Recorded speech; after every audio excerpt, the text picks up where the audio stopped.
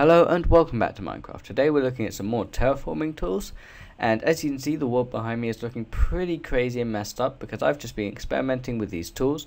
We're going to be using World Edit and some craft scripts made by a person called InHaze who's pretty damn awesome. You should check him out. There'll be links and such to download all the mods which you can find out how to install elsewhere on the internet. So I'm going to go ahead and assume that you've already installed the mods and we're going to jump straight into it. Now, what I have in my hand is various assorted items, and as you can see, they're named. Now, they're named according to what I've made them do. These are not special objects which are in the mod or whatnot. These are things that I've just renamed in vanilla Minecraft, and the mod has applied the things to them. So we're going to first be looking at how to do this sort of thing. You take any sort of item, like a blaze rod or a pumpkin or, or whatnot, and you actually I don't think a pumpkin will work but yeah, you take an assorted item and you apply it with some of these scripts. So the way we do that is if we wanted to create a brush, we'd do brush, sphere, then the type of material we want, so let's do lapis lazuli, which is 22, and the size of sphere we want. So let's go for a size 6, which is the maximum. So by doing this, we've created a sphere creator. We've created a creator. Um, but yeah, that's how it works. And you can use this any way you want. And I've got a stone here, and this one creates air. So as you can see, you can kind of sculpt things on quite sort of large scale at the moment. And you can work into the depth by creating smaller spheres and using a couple other tools which we're going to be looking at. So that's pretty damn awesome, pretty damn straightforward. That does not require any sort of plugins to the mod. You can simply do that with World Edit, which is pretty damn awesome. But now let's have a look at some of the extra stuff, the stuff that allows you to do a whole lot more, and that's InHaze's craft, craft scripts. So this is the flatten tool. However, at the moment it doesn't seem to be working, but we can fix it simply by showing you guys how to make a craft script craft script brush, I suppose. So let's go ahead and do cs build list. And this will show up all of the build commands which you've installed. Now, in order to use these, you have to apply them. So let's go cs build flatten and I'm going to do S30 and B 1. Now if I click this button here, it's going to take a while to load because it's clearing out quite a large chunk. But hopefully I can explain to you what's happened through what I just did. Now, as you can see, the floor has turned into stone. Now, that doesn't always happen. It didn't just happen to be coincidence that this part of land had a bit of stone under it. If we take a look back at our command, the B1 part, the B stands for block and the 1 is the item ID and I chose stone just because it's off the top of my head and S is 30 which stands for size. Now the S and the B they're what are called flags and they're what the program used to differentiate the values. For example if you just put a bunch of values in it wouldn't know which values to apply to which sort of parameter. So by using flags you can do that. However, it would be a massive pain to have to remember every single flag for every single command. So there are two ways of finding out the flags. You can do cs build help and then the command such as flat flatten and you'll get a little list and it will say all the little flags and whatnot. Very useful. But you can also just sort of skip that a little bit and just go cs build commands and now you have a list of all of the commands in detail. Very useful. Now, before I end off this part of the video, I'm just going to give a little sort of go through of a couple of the different things which I quite like. Um, firstly, we have Spike. Um, as you can see from me messing around with this previously, it just creates large spikes in the ground. And there are a couple awesome little flags that you can use for this. So I'm going to go CS build help spikes and explain it to you or spike There we go. Um, so let's look at this. We have S flag for base size, B for block type, L for min length, comma max change. So what does that mean?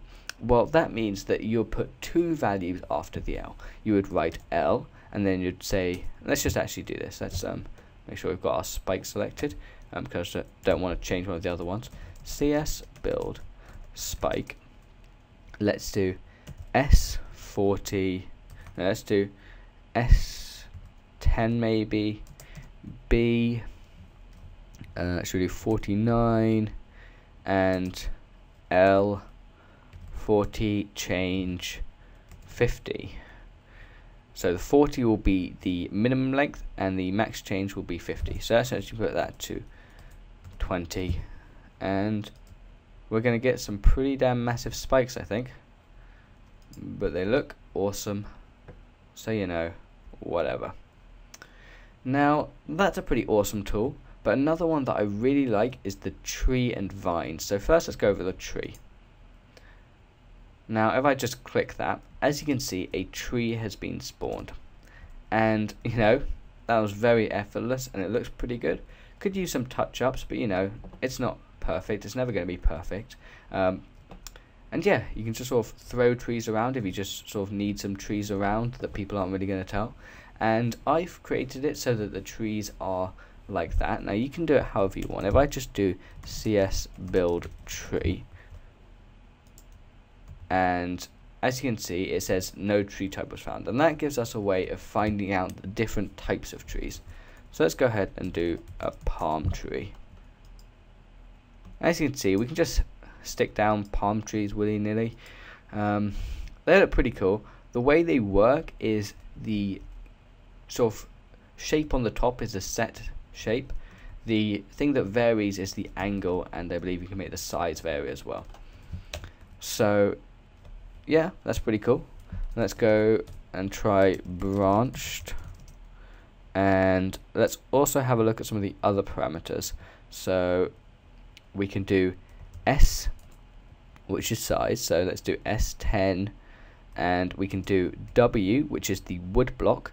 Um, so we can change that to, I don't know, 1 and then the leaf block which is L and we can change that to let's think of something creative very quick or we might as well not and just do lapis lazuli because I've been doing that quite a lot as you can see it's created our thing it looks alright um, a bit interesting but let's just have a look at some of the other different things I haven't messed around with all of these I'll be perfectly honest with you. You can also change the density with 10 or with D. Um, so let's put that, don't know, 40. Again, I haven't exactly messed around with these too much. Rainforest. I quite like that. That is pretty damn awesome. So with that, we're going to move on to the next thing. The next thing I'm just going to, as you don't have something for, so we're just going to grab a diamond and this is going to be vines so we're going to do cs build and then help vines. Now we get the options for vines which are awesome. Vines are freaking amazing. So let's go and do cs build vines and do I'm going to do s30 d 5 I'm not exactly how sure that works. And B, I don't know, I think 89. I think that'd be pretty cool. And what this basically does is, oh goodness, I used the, did I use the right thing? Well, we can see what happens. Oh goodness gracious me. Um, what it does is it drapes objects over other objects. And as you can see, the density is probably a little too high, so let's take out the density flag and see it on its natural density. Um, let's go ahead and just plonk it down somewhere. I don't know, that could be pretty cool. Give it a second to load and 1.5 and these lighting changes, it's not too happy. And that just looks friggin' amazing. That is awesome. So as you can tell, this is an, a very powerful tool for lighting up caves and giving things a awesome look. And if we just go ahead and go CS Vine,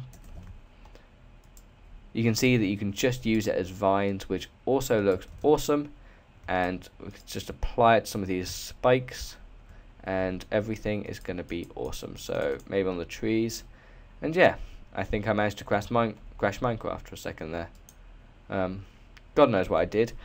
But yeah, that's not too bad because we basically re reached the conclusion of this video. I've just gone over a couple of the tools. Yep, Minecraft's crashed. Um, goodness knows why. But you know, when you're using mods, you've got to expect this sort of thing. So I suggest that you do the most of your building in a outside world and then in the next video, we're going to be looking at how to export things across worlds because doing things, as, as I just sort of demonstrated accidentally on your world could create problems and is not something you probably want to be doing. So we're going to be using MC Edit to do that and I hope to see you there. That's about it for this video. If you have any questions, put them in the comment section below and I'll see you guys next time. Thanks for watching.